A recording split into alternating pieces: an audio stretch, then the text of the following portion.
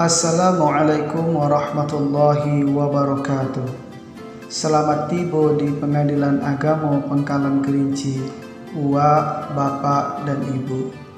Pengadilan Agama Pengkalan Kerinci sungguh-sungguh membuat jalan penting untuk kelompok uang yang kuang. Salah satunya kawan yang punya kekurangan fisik badan. Macam mana cara mendaftar berpekaunya? Mo awak cari tahu. Tapi jangan lupa yo bawa KTP, surat nikah, dan juga bisa menengok pengumuman di website kami atau hubungi nomor 08 22 83 66 3779. Giko cawe berpekau di pengadilan agama Pangkalan Kerinci. Pertama, cawnya daftarkan dulu perkaranya. Uwa, bapak ibu yang datang akan ditolong sama satpam untuk tunjukan tempat parkir. Soto petugas pelayan untuk membantu Uwa. Bapak, ibu menuju ruang pendaftaran atau PTSP. Selama di PTSP, Uwa, bapak, ibu akan didampingi petugas pelayan untuk membagi informasi pribadi untuk syarat pendaftaran sampai mengambil tagihan biaya panjar di kasir. Informasi wokotu sidang akan disampaikan pakai email, telepon atau panggilan langsung. Jadi pastikan dulu nomor HP-nya selalu aktif ya Bu. Sesudah itu, Ibu atau Uwa akan diantian oleh petugas pelayan kami menuju parkiran karena urusan pendaftaran olah selesai. Petugas pelayan PTSP akan menelpon uak, bapak atau ibu untuk memberitahu waktu sidang sekaligus mengingatkan pengumuman lainnya macam data saksi. Terima kasih.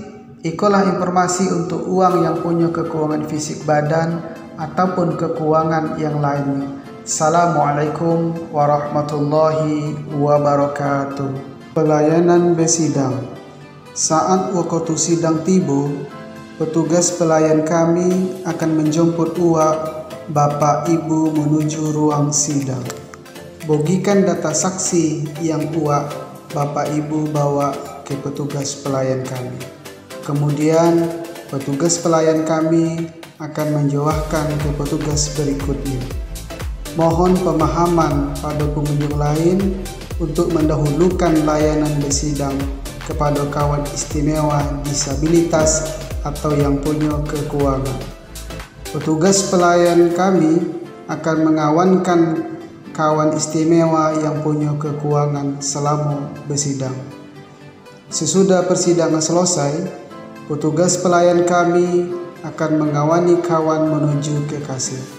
Sesudah urusan di kasir selesai, kawan akan diantarkan petugas pelayan kami menuju ke parkir. Pengambilan produk Produk pengadilan agama Penggalan Kerinci berupa akta coai dan kopian putusan. Pada waktu di PTSP, petugas pelayan kami akan menolong kawan untuk mengisi data diri permohonan pengambilan produk.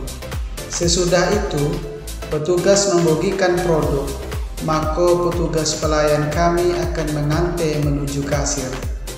Produk pengadilan jangan sampai hilang ya Bu, Bapak, karena tidak ada gantinya lagi, kecuali salinan putusan.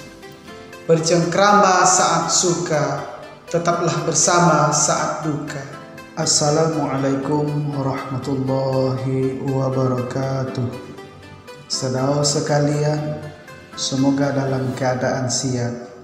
Ambo ingin menyampaikan pengumuman tentang hak-hak jando bini dan anak sesudah becowai. Jando bini dan anak adalah pihak yang paling soing measokan akibat tak elok sesudah becowai. Apa saja hak yang didapatkan oleh jando bini dan anak saat becowai sama lakinya. Ada empat hak yang diperoleh jando bini yaitu yang pertama nafkah madiah yaitu nafkah yang dilalaikan oleh jando laki ketika masih terikat pernikahan. Yang kedua, nafkah iddah yaitu nafkah dari janda laki selama menjalani masa iddah. Yang ketiga, mut'ah yaitu pembawaan dari janda laki kepada janda bini berupa duit atau benda lainnya. Yang keempat, yaitu mahar yang masih teutang.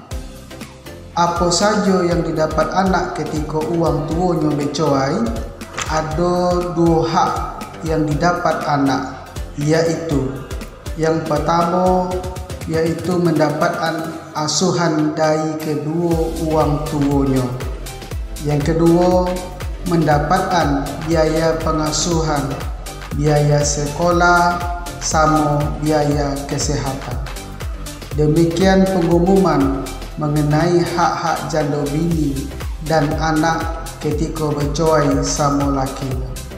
Untuk info lebih jelas, dapat datang langsung ke tempat PTSP Pengadilan Agama Pangkalan Kerinci.